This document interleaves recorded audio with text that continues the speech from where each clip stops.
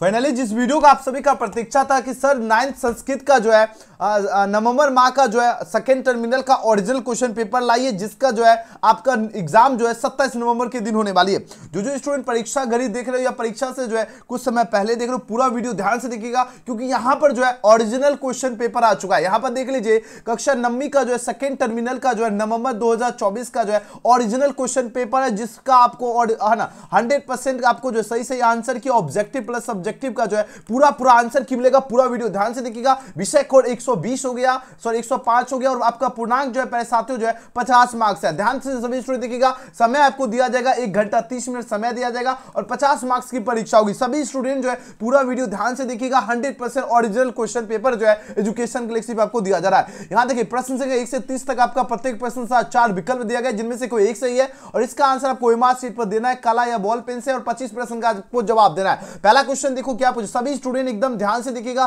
पूरा का पूरा आपको एक एक, है ना क्वेश्चन को याद कर लीजिएगा ताकि आपको सेकंड टर्मिनल पास करना आवश्यक है। देखिए, पहला क्वेश्चन क्या पूछा गया है? नगरवासी जो है, प्राचीन काल में कहाँ रहते थे? नगरवासी की बात हो रही है तो ये आपका शहर में रहते हैं तो इसका सही जवाब हो जाएगा। ऑप्शन नंबर सी इसका बिल्कुल सही जवाब है। दूसरा क्वेश्चन साथियों, पूछा गया है क्या? नगर की रचना जो है, किसने किया है? नगर की रचना जो किया है ना, मानव ने ही किया है साथियों मन मेन ने किया था। राइट आंसर ऑप्शन बी होगा। एकदम सही सही आंसर की आपको यहाँ पर। दिया जा रहा है। पूरा वीडियो ध्यान से देखिएगा।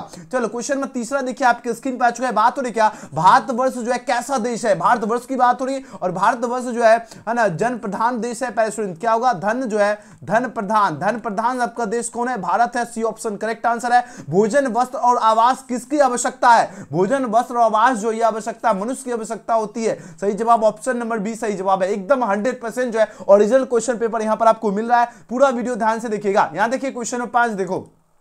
क्वेश्चन सभी स्टूडेंट एक बार लाइक से सब्सक्राइब कर लीजिए और एक बार कमेंट सेक्शन में जय माँ सरस्वती का गूंज होना चाहिए। देखिए पांचवा प्रश्न क्या है? प्राचीन काल में जो है ग्राम जीवन जो है कैसा था? सभी स्टूडेंट और एग्ज़ाम जब भी यह वीडियो देख रहे हो परीक्षा से जब भी आपके पास वीडियो रिकमेंड कर रहा है या आप लोग सर्च करके यह वीडियो देखो पूरा देखिएगा हाँ, ताकि आपको एग्ज़ाम बहुत बेहतर जाए। पचास बट्टा पचास नंबर मिलेगा यह वीडियो जो जो बच्चे ध्यान से देख लीजिएगा। प्राचीन काल में ग्राम जीवन जो है कैसा था पहले साथियों? यह आपका जो सुखमय जीवन था। राइट आंसर ये ऑप्शन बिल्कुल सही जवाब है। अगला क्वेश्चन है पठित पात में जो स्वतंत्रता आंदोलन के जो है, अनुपम सेनानी जो है कौन थे? अनुपम सेनानी जो है कौन थे? ये आपको याद रखना वीर कुंवर सिंह थे। कौन थे? वीर कुंवर सिंह, साथियों, सही जवाब ऑप्शन नंबर बी करेक्ट है। अगला क्वेश्चन की बात किया जाए क्वेश्चन नंबर सेवन देखिए सेवन नंबर प्रश्न आपके स्क्रीन पर आ चुका है। बात हो रही क्या?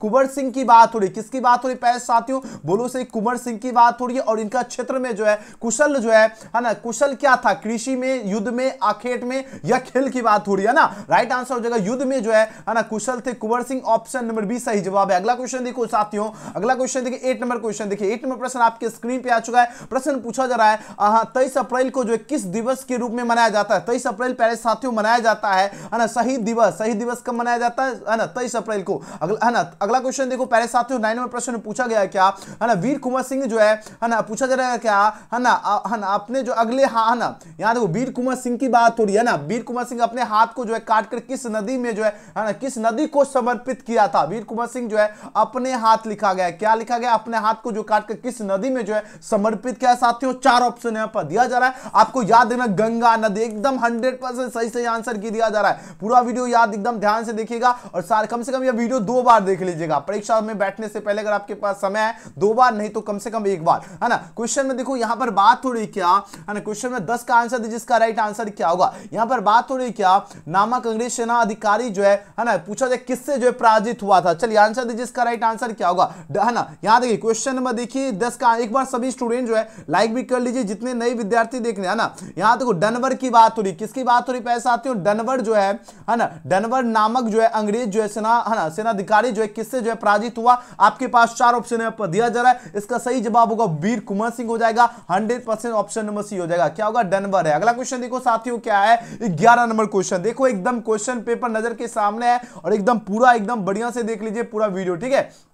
यहाँ देखो क्वेश्चन में ग्यारह का आप लोग आंसर लगाने का प्रयास कीजिए, इसका सही जवाब क्या होगा? बात हो रही गीता में जीवन की जो कितनी जो है है ना है ना, अवस्थाएँ जो है है ना, कितनी अवस्थाएँ जो निर्दिष्ट है। गीता की बात हो रही साथियों, चार ऑप्शन है पर दिया जा रहा है तो आपको याद रखना चार अवस्थाएँ निर्दिष्ट है, ये ऑप्शन बिल्कुल सही जवाब है। अनुशासन कब जो है, अत्रिय लगता है? चार ऑप्शन यहाँ पर दिया जा रहा है। अब आंसर दीजिए इस क्वेश्चन का राइट आंसर क्या होगा? है ना, अनुशासन कब जो है सॉरी है ना, यहाँ पर अप्रिय होना चाहिए, ठीक है? अप्रिय लगता है, ये प्रश्न लिखा गया है स्टूडेंट हम आप कीजिएगा, अनुशासन कब जो है, यहाँ देखो आपको भी सही से नहीं दिख रहा होगा, हमें भी नहीं दिख रहा है। ना? कब अप्रिय लगता है साथियों? है ना? लेकिन आपको पूरा क्वेश्चन करवाना मेरा फ़र्ज़ है और ये आपका पास होना ज़रूरी है, ठीक है? ये ध्यान रखना, किशोरावस्था होगा सी ऑप्शन राइट आंसर है। अगला प्रश्न देखो क्वेश्चन नंबर तेरह देखिए। एक बार लाइक से सब्सक्राइब कर लो साथियों। क्वेश्चन नंबर तेरह पूछा जा रहा है क्या?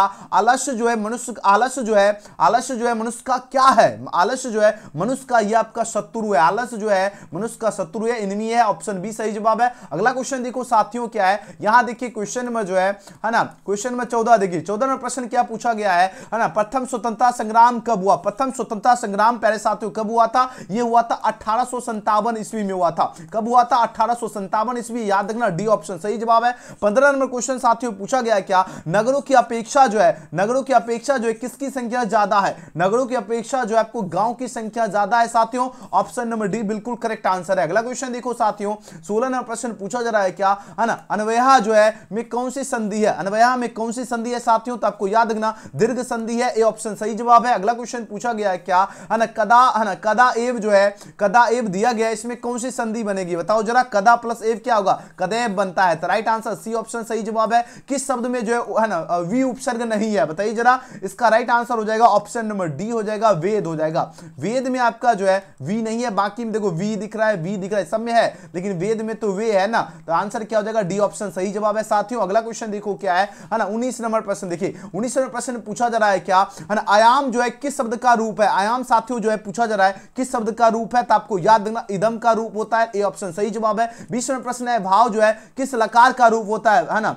भाव जो है किस लकार का रूप होता है साथियों? आपको याद रखना, लोट लकार का रूप होता है, सी ऑप्शन करेक्ट आंसर है। भू धातु लट लकार जो है माध्यम पुरुष एक वचन जो है कौन सा होगा? इसका सही जवाब होगा, आपका भवसी हो जाएगा। Right answer option B correct answer है। अगला क्वेश्चन देखो साथियों, है ना? बाईस नंबर प्रश्न देखिए बाईस प्रश्न देखो क्या पूछा गया है ना यहाँ देखो। बाईस नंबर प्रश्न है, क्या लेखक प्लस टप में जो है कौन सा पद बनेगा? लेखक प्लस टप में आपका जो पद बनेगा, लेखिका बनेगा साथियों, ये ऑप्शन बिल्कुल सही जवाब है। संग्राम पद का अर्थ जो है कौन सा होगा? संग्राम, ये देखिए आपका 23 नंबर क्वेश्चन है, और ये आपका हो गया 24 संग्राम, एकदम पूरा बढ़िया से देख लीजिए। संग्राम का जो होता है, यानी इसका अर्थ होता है युद्ध होता है। युद्ध आप लोग सुने हो ना? युद्ध लड़ाई, है ना? ऑप्शन बी सही जवाब है। पावका का संधि विच्छेद क्या होगा? पावका का क्या होता है? पावक का होता है। पावका की बात रही पो प्लस अका हो जाएगा साथियों। ऑप्शन नंबर क्या हो जाएगा? चौबीस नंबर प्रश्न का साथियों क्या हो जाएगा? चौबीस नंबर प्रश्न का ऑप्शन नंबर क्या हो जाएगा? सी ऑप्शन बिल्कुल सही जवाब है। पौ प्लस क्या होगा? पौ प्लस जो है अका होता है। पौ प्लस अका पावका होता है। यहाँ देखो, पौ प्लस क्या होगा? अका यानी सी ऑप्शन सही है। अगला प्रश्न साथियों क्या है? है ना क्वेश्चन नंबर पच्चीस, देखिए, पशुवती जो है, किस समास का उदाहरण है? तो पच्चीस नंबर प्रश्न का सही जवाब हो जाएगा। है ना कौन सा उदाहरण होगा? पच्चीस में, देखिए, चार ऑप्शन यहाँ पर आपको नहीं दिख रहा है जूम छोटा कर देता हूँ। है ना एक बार लाइक से सब्सक्राइब सभी स्टूडेंट जल्दी जल्दी कर लीजिए। यहाँ देखिए, पूरा ऑप्शन दिख गया सबको। है ना, पशुवती जो है पूछा जा रहा है क्या? कि समाज, पश मतलब क्या हो गया? पश मतलब हो गया पाँच। पाँच मतलब संख्या। और जब भी क्या हो, संख्या का बोध हो, प्यारे साथियों, आपको क्या होता है? द्विगु समास होता है सही जवाब बी ऑप्शन हो जाएगा। किस शब्द में जो है तुमुन जो है ना, तुमुन प्रत्यय है? तुमुन प्रत्यय साथियों हो जाएगा आपका, है ना, पठित तुम हो जाएगा। यानी बिल्कुल सही जवाब है ऑप्शन नंबर बी। देखो, तुमुन मिल रहा है। ऑप्शन बी इसका सही जवाब है साथियों। अगला क्वेश्चन देखो क्या है। ना सत्ताईस में प्रश्न देखिए। सत्ताईस में क्वेश्चन पूछा जा रहा है क्या? है ना प्राण मग्न में जो है ना प्राण मग्न जो है, यहाँ पूछा जा रहा है क्या? इसमें कौन सा प्रत्यय होगा? बताइए, जरा प्राण मग में जो है ना है ना, में पूछा जाए कौन सा प्रत्यय होगा? सत्ताईस प्रश्न का जो है, सही जवाब हो जाएगा ऑप्शन नंबर है ना बी हो जाएगा, है ना, लयम हो जाएगा। क्या हो जाएगा? लयम हो जाएगा, ठीक है? सत्ताईस में क्या पूछा जा रहा है? ध्यान दीजिएगा।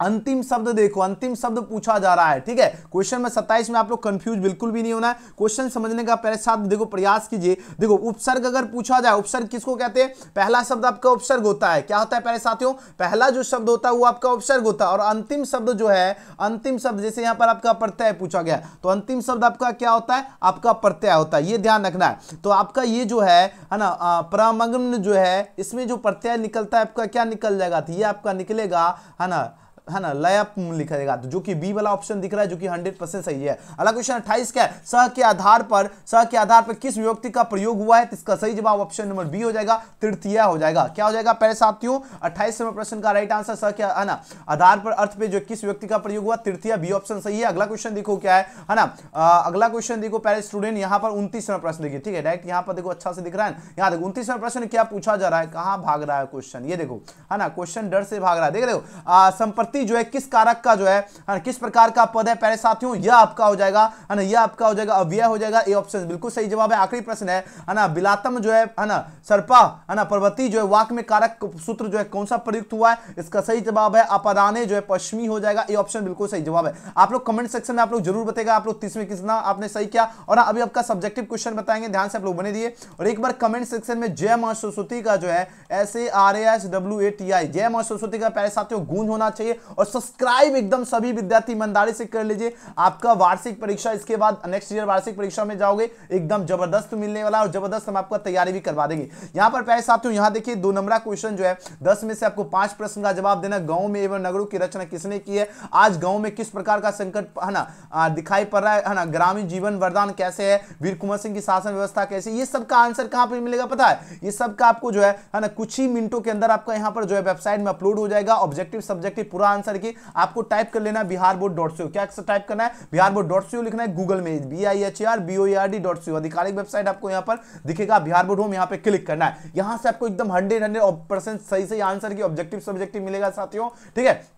और आपको यहाँ पर बीएसवी न्यूज़ में ही जो है, सबसे ऊपर ही आपको दिख जाएगा हिंदी और इंग्लिश का। आपको सिंपली क्लिक कर लीजिएगा, आपके सामने इस रूप में पेज खुल के सामने आएगा और यहाँ पर आपके जो है, यहाँ पर आपको ऑब्जेक्टिव का जो है, यहाँ पर एबीसीडी मिल जाएगा। यहाँ पर इस तरह आपका ऑब्जेक्टिव मिल जाएगा और नीचे आपका क्लिक का सब्जेक्टिव का रहेगा तो यहाँ पर क्लिक करके आपको क्वेश्चन पेपर आंसर की सबके सब डाउनलोड कर लीजिएगा। कुछ ही मिनट या कुछ ही सेकंड के बाद आप लोग यह वीडियो देखोगे ना, आप लोग आइएगा, सबके सब अपडेट मिलेगा टेंशन नहीं लीजिएगा, ठीक है? आप लोग चेक करते रहिए लाइक कर लीजिएगा और हाँ एकदम हंड्रेड मिलेगा, ध्यान रखिएगा सब्सक्राइब करके बेल आइकन प्रेस कर लीजिएगा और एक बार प्यारा सा कमेंट कर दीजिएगा, जय माँ सरस्वती का गूंज होना चाहिए और सब्सक्राइब कर लीजिएगा ताकि नेक्स्ट वीडियो और, है ना वीडियो जैसे डाले आपके पास नोटिफिकेशन मिल जाए तो ज़रूर सब्सक्राइब कर लेना है, ठीक है? चलो, मिलते अगले वीडियो में। Thanks for watching this video bye bye